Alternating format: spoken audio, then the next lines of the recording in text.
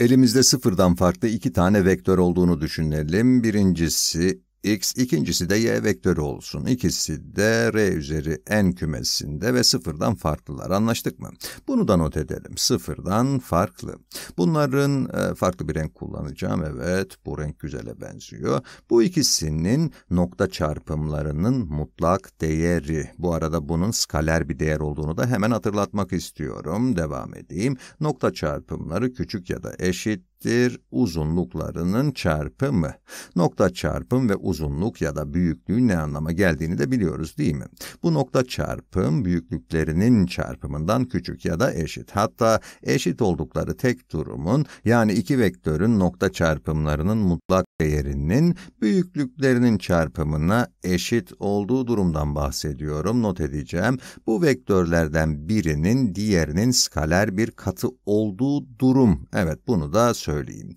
Bunu eş doğrusal olmaları olarak da ifade edebiliriz. Ve eş doğrusal olmak vektörlerden birinin diğerinin uzun ya da kısa versiyonu olması anlamına geliyor. Evet bu x vektörü y vektörünün skaler bir katı. Bu anlama geliyor ve bu durumda doğru.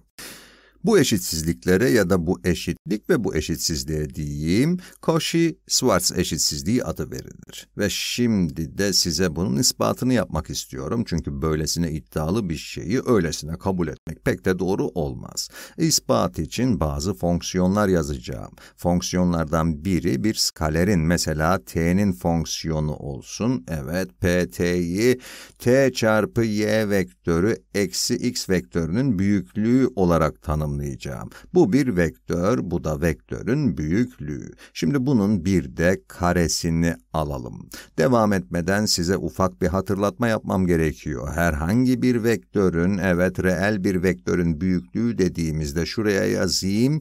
Bir v vektörünün büyüklüğü diyelim, bunun pozitif olduğunu ya da en azından sıfıra eşit ya da sıfırdan büyük olacağını kabul etmenizi istiyorum. Neden diyecek olursanız bu vektörün bütün terimlerinin karelerinden oluşur da ondan. V1'in karesi artı V2'nin karesi böylece V'nin karesine kadar. Bunların hepsi reel sayılardır ve bir reel sayının karesini aldığınızda da sıfırdan büyük ya da sıfıra eşit bir sonuç elde edersiniz. Benzer şekilde toplamları da sıfırdan büyük ya da sıfıra eşittir ve kare kökünü aldığımızda elde edeceğimiz pozitif kökte bu yüzden sıfırdan büyük büyük ya da sıfıra eşit olur. Bu da reel bir vektörün büyüklüğünün sıfırdan büyük ya da sıfıra eşit olacağı anlamına gelir. Bu reel bir vektörün büyüklüğüdür. Anlaştık mı? O halde neymiş? Sıfırdan büyük ya da sıfıra eşitmiş. Bundan önceki videoda ya da sanırım iki önceki videoydu bir vektörün büyüklüğünün karesinin vektörün kendisiyle nokta çarpımı olarak ifade edilebileceğini de göstermiştim.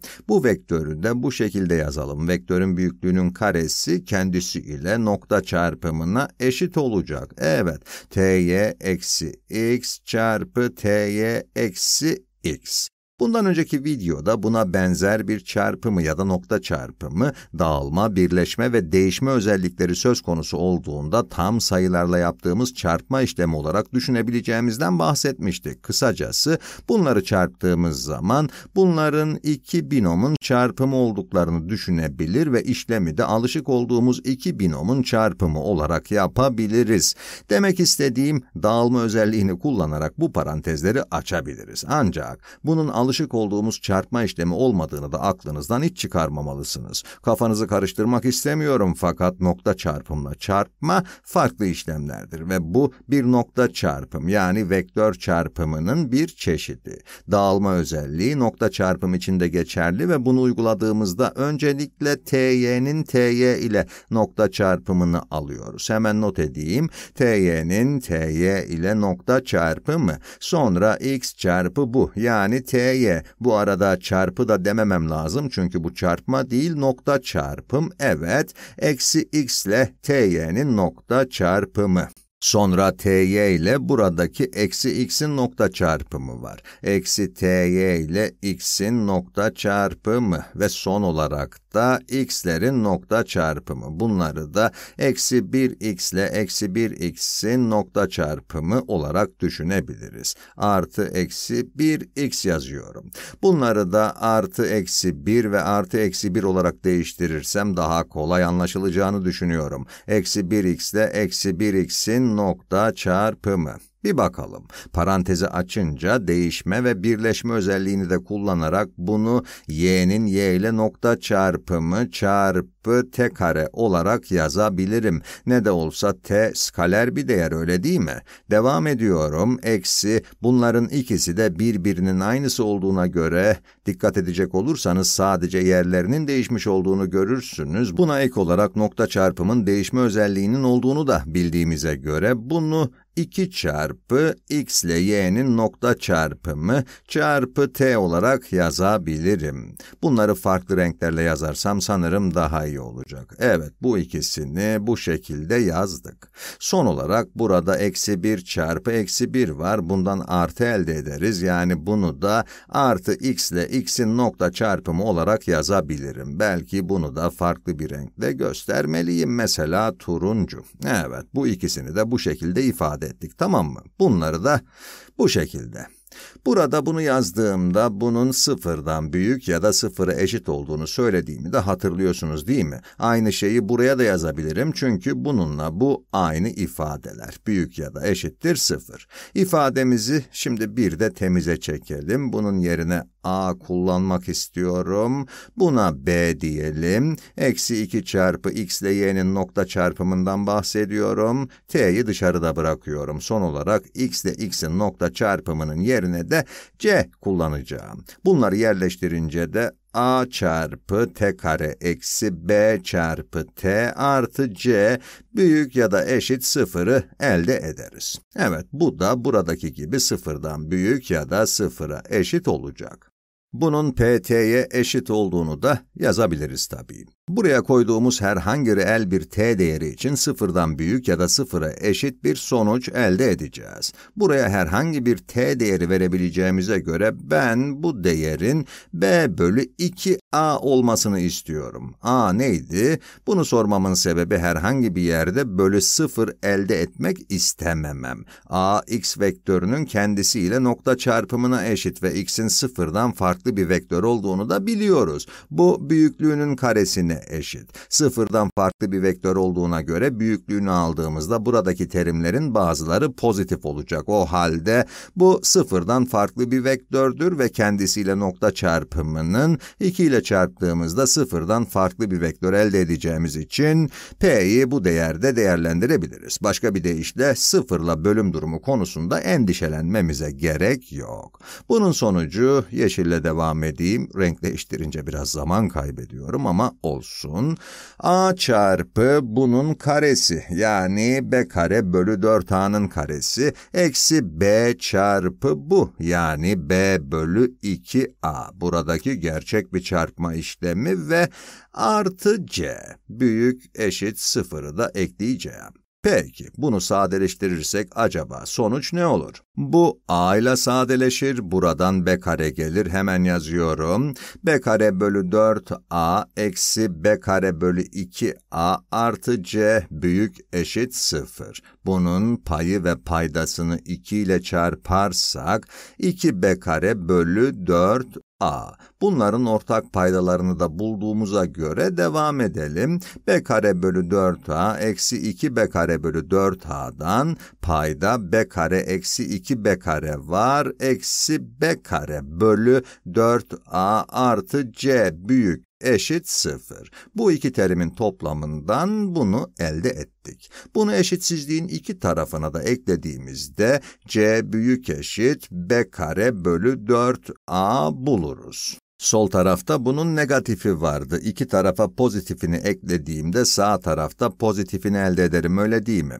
Bir eşitsizlikle karşı karşıyayız. Şimdi de az önce yerine A, B ve C yazdığım ifadeleri yerlerine geri koymak istiyorum. A, B ve C neye eşitti bir bakalım. Aslına bakarsanız bunu biraz daha sadeleştirmek için iki tarafı bir de 4 A ile çarpayım. Böylece bu kesirli ifadeden de kurtulmuş olacağız. Bu noktada A A'nın sıfırdan farklı olması yanında pozitif olduğunu da biliyoruz. Ne demiştik? Bu büyüklüğünün karesine eşitti ve size reel bir vektörün büyüklüğünün pozitif olacağını da göstermiştim. Size A'nın pozitif olduğunu ispat etmek istememin sebebi eşitsizliğin iki tarafını A ile çarptığımızda eşitsizliğin yönünün değişmesini istemiyor oluşum. Evet az önce de dediğim gibi bunları yerlerine koymadan ifadenin iki tarafını bir de 4A ile çarpmak istiyorum. Böylece 4 AC büyük büyük eşit b kareye geldim. İşte böyle. A büyüklüğünün karesine eşit olduğu için pozitif bir değer. Evet, y'nin y ile nokta çarpımı y'nin büyüklüğünün karesine eşit ve bunun da pozitif bir değer olduğunu biliyoruz. Pozitif olmak zorunda. Şimdi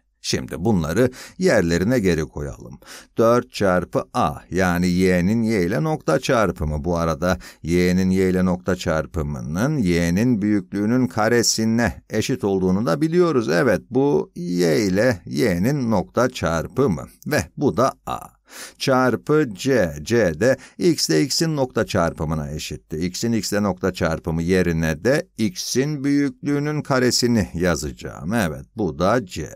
4 çarpı a çarpı c buna eşit. Büyük eşit b kare yani bunun karesi. 2 çarpı x ile y'nin nokta çarpımının karesi.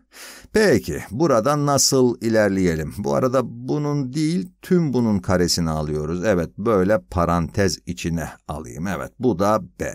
Şimdi bunu sadeleştirebilir miyiz? Farklı bir renkle devam edeceğim. 4 çarpı y'nin büyüklüğünün karesi çarpı x'in büyüklüğünün karesi büyük eşit.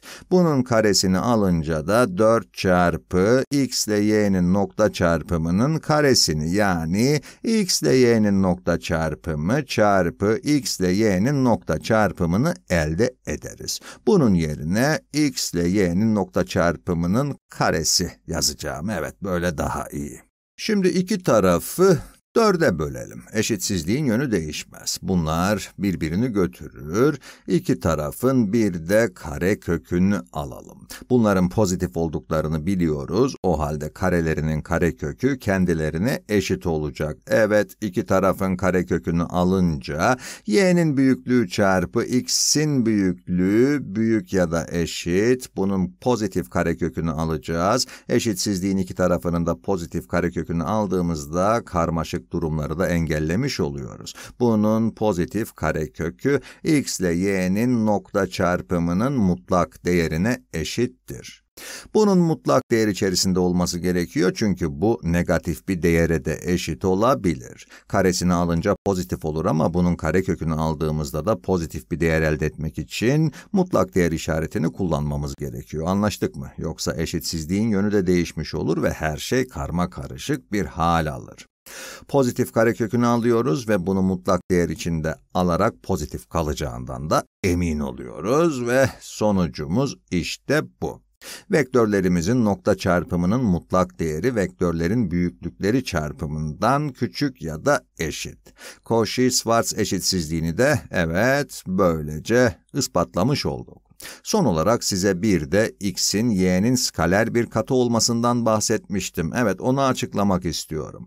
Bu durumda mutlak değer yani x ile y'nin nokta çarpımının mutlak değeri bu neye eşit olur? x yerine gelin c çarpı y yazalım. Birleşme özelliğine göre bunu c'nin mutlak değeri çarpı y ile y'nin nokta çarpımı olarak yazabiliriz. Mutlak değerin sebebi de her şeyin pozitif kalmasını istiyor oluşumuz. Bu c çarpı y'nin büyüklüğünün karesine eşittir öyle değil mi? Evet bu c çarpı ya da c skalerinin mutlak değeri çarpı y'nin büyüklüğü çarpı y'nin büyüklüğüne eşit. Bunu da bu arada eğer isterseniz bunun ispatını da kendi kendinize yapabilirsiniz. c'yi büyüklük işaretinin içine koyarsak evet uzunluğun tanımından yola çıkarak bu ispatı kendi kendinize yapmayı deneyin. Evet evet faydalı bir alıştırma olacağından eminim. Mutlak değer içindeki c'yi bununla çarparsam c y'nin büyüklüğü çarpı y'nin büyüklüğünü elde ederim.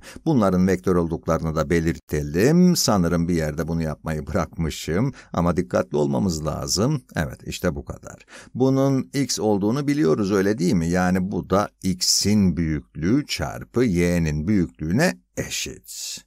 Peki böylece size Cauchy-Schwarz eşitsizliğinin ikinci kısmını yani vektörlerden biri diğerinin skaler bir katı olduğunda bu ikisinin birbirine eşit olacaklarını da göstermiş oldum.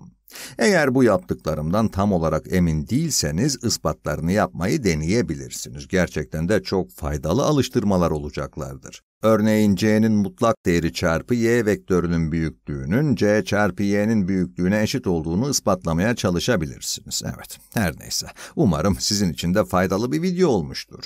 Doğrusal cebirdeki farklı sonuçları ispatlamak için Cauchy-Schwarz eşitsizliğini çok kullanacağız. Bundan sonra yapacağım bir videoda bunun nokta çarpıma göre neden daha mantıklı olduğundan da bahsedeceğim.